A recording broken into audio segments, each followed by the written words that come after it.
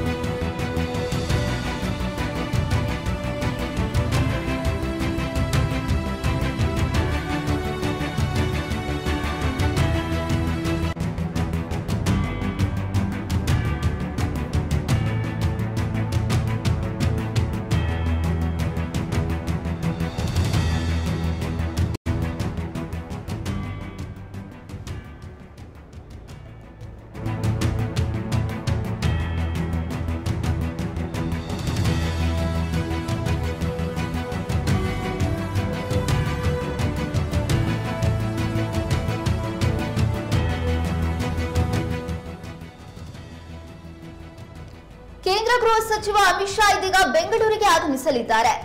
ಈಗಾಗಲೇ ಏಪ್ರಿಲ್ ಇಪ್ಪತ್ತಕ್ಕೆ ನಾಮಪತ್ರ ಸಲ್ಲಿಕೆ ಪೂರ್ಣಗೊಂಡಿದ್ದು, ಏಪ್ರಿಲ್ ಇಪ್ಪತ್ತೊಂದರಂದು ಅಂದ್ರೆ ಇಂದಿನಿಂದ ನಾಮಪತ್ರ ಪರಿಶೀಲನೆ ಕಾರ್ಯ ಪ್ರಾರಂಭವಾಗಲಿದೆ.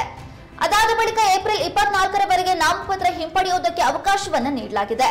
ಅದಾದ ಬಳಿಕ ಯಾರು ಕಣದಲ್ಲಿ ಉಳಿತಾರೆ, ಅವರೇ ಅಧಿಕೃತ ಅಭ್ಯರ್ಥಿಗಳಾಗ್ತಾರೆ. ಈಗಾಗಲೇ ಎಲ್ಲಾ ಪಕ್ಷಗಳು ಕೂಡ ಭರ್ಜರಿಯಾಗಿ ಪ್ರಚಾರ ಕಾರ್ಯವನ್ನ ನಡೆಸ್ತಾ ಇದ್ದಾವೆ. ಅದರಲ್ಲೂ ಈಗ ಆಡಳಿತದಲ್ಲಿರುವಂತಹ ಬಿಜೆಪಿ ಸರ್ಕಾರ ಒಂದು ಹೆಜ್ಜೆ ಮುಂದೆ ಹೋಗಿ ಹಲವಾರು ರಣತಂತ್ರಗಳನ್ನ ರೂಪಿಸ್ತಾ ಇದೆ. ಬಿಜೆಪಿಯ ಚಾಣಕ್ಯ ಕರೆಯಲ್ಪಡುವಂತ ಕೇಂದ್ರ ಗೃಹ ಸಚಿವ ಅಮಿತ್ ಶಾ ಕೂಡ ಈ ರಣತಂತ್ರಗಳನ್ನ ಹೆಣೆಯೋದಕ್ಕಾಗಿಯೇ ಬೆಂಗಳೂರಿಗೆ ಆಗಮಿಸ್ತಾ ಇದ್ದಾರೆ. ಏಪ್ರಿಲ್ ಇಪ್ಪತ್ನಾಲ್ಕರ ನಂತರ ಪ್ರಚಾರ ಕಾರ್ಯ ಪ್ರಾರಂಭವಾಗ್ತಾ ಇದ್ದು, ಈಗಾಗಲೇ ಸ್ಟಾರ್ ಪ್ರಚಾರಕರನ್ನ ಬಿಜೆಪಿ ಗುರುತಿಸಿದೆ. ಮೋದಿ, ಅಮಿತ್ ಶಾ ಹಾಗೂ ಉತ್ತರ ಪ್ರದೇಶದ ಮುಖ್ಯಮಂತ್ರಿಯಾಗಿರುವಂತಹ ಯೋಗಿ ಆದಿತ್ಯನಾಥ್ ಅವರ ಹೆಸರನ್ನ ಒಳಗೊಂಡಂತಹ ಸಾಕಷ್ಟು ಜನರನ್ನ ಸ್ಟಾರ್ ಪ್ರಚಾರಕರು ಅಂತ ಹೇಳಿದೆ.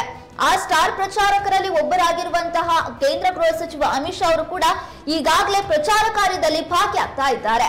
ಬೆಂಗಳೂರಿಗೆ ಆಗಮಿಸುವಂತ ಅಮಿತ್ ಶಾ ಎರಡು ದಿನಗಳ ಕಾಲ ಬೆಂಗಳೂರಿನಲ್ಲೇ ವಾಸ್ತವ್ಯ ಹೂಡಲಿದ್ದು ಹಲವಾರು ಕಾರ್ಯಕ್ರಮದಲ್ಲಿ ಭಾಗಿಯಾಗ್ತಾ ಇದ್ದಾರೆ.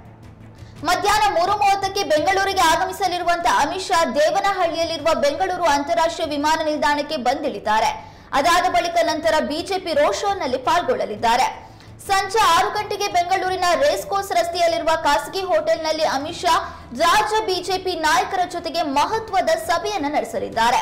ಈ ಸಭೆಯಲ್ಲಿ ಬಿಜೆಪಿ ಈ ಬಾರಿ ಅಧಿಕಾರಕ್ಕೆ ಬರೋದಕ್ಕೆ ಸ್ಪಷ್ಟ ಬಹುಮತವನ್ನ ಪಡೆಯೋದಕ್ಕೆ ಏನೆಲ್ಲ ಕಾರ್ಯತಂತ್ರಗಳನ್ನ ರೂಪಿಸಬೇಕು, ಪ್ರಚಾರ ಕಾರ್ಯ ಯಾವ ರೀತಿ ಇರಬೇಕು, ರಾಜ್ಯದಲ್ಲಿ ರಣತಂತ್ರಗಳನ್ನ ಹೇಗೆ ಹೆಣಿಬೇಕು ಅನ್ನೋದನ್ನ ರಾಜ್ಯದ ವರಿಷ್ಠರ ಜೊತೆ ಕೇಂದ್ರ ಗೃಹ ಸಚಿವ ಅಮಿತ್ ಶಾ ಚರ್ಚೆ ಮಾಡಲಿದ್ದಾರೆ. ಈ ಮೂಲಕ ಈ ಬಾರಿ ಸ್ಪಷ್ಟ ಬಹುಮತವನ್ನ ಪಡಿಬೇಕು ಅನ್ನೋದಕ್ಕೆ ಈಗಿನಿಂದಲೇ ಮೈಲಿಗಲ್ಲನ್ನ ಸಾಧಿಸ್ತಾ ಇದ್ದಾರೆ.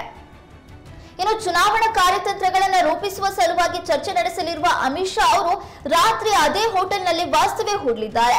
ನಂತರ ಏಪ್ರಿಲ್ ಇಪ್ಪತ್ತೆರಡರಂದು ಬೆಂಗಳೂರಿನ ಖಾಸಗಿ ಹೋಟೆಲ್ನಲ್ಲಿ ನಡೆಯಲಿರುವಂತಹ ಕಾರ್ಯಕ್ರಮದಲ್ಲಿ ಭಾಗಿಯಾಗಿ ನಂತರ ಮಧ್ಯಾಹ್ನ ಹನ್ನೆರಡು ಗಂಟೆಗೆ ದೆಹಲಿಗೆ ವಾಪಸ್ ಆಗಲಿದ್ದಾರೆ ಈ ಮೂಲಕ ಅಮಿತ್ ಶಾ ಮೊದಲಿಗೆ ರಾಜ್ಯದಲ್ಲಿ ಯಾವ ರೀತಿ ಚುನಾವಣೆಗೆ ಗೆಲುವನ್ನ ಪಡೆದುಕೊಳ್ಳೋದಕ್ಕೆ ಸಿದ್ಧತೆಯನ್ನ ಮಾಡಿಕೊಳ್ಬೇಕು ಅನ್ನೋದ್ರ ಬಗ್ಗೆ ಚರ್ಚೆಯನ್ನ ನಡೆಸಿದ ಬಳಿಕ ಮೋದಿ ಅವರು ಆಗಮಿಸ್ತಾರೆ. ಉತ್ತರ ಪ್ರದೇಶದ ಮುಖ್ಯಮಂತ್ರಿಯಾಗಿರುವಂತಹ ಯೋಗಿ ಆದಿತ್ಯನಾಥ್ ಅವರು ಕೂಡ ರಾಜ್ಯಕ್ಕೆ ಭೇಟಿ ನೀಡಿ ಪ್ರಚಾರ ಕಾರ್ಯದಲ್ಲಿ ಭಾಗಿಯಾಗಲಿದ್ದಾರೆ. ಇದೇ ರೀತಿಯಾಗಿ ಬಿಜೆಪಿ ರಣತಂತ್ರಗಳನ್ನು ರಾಜ್ಯದಲ್ಲಿ ಹೆಣಿತಾ ಇದೆ.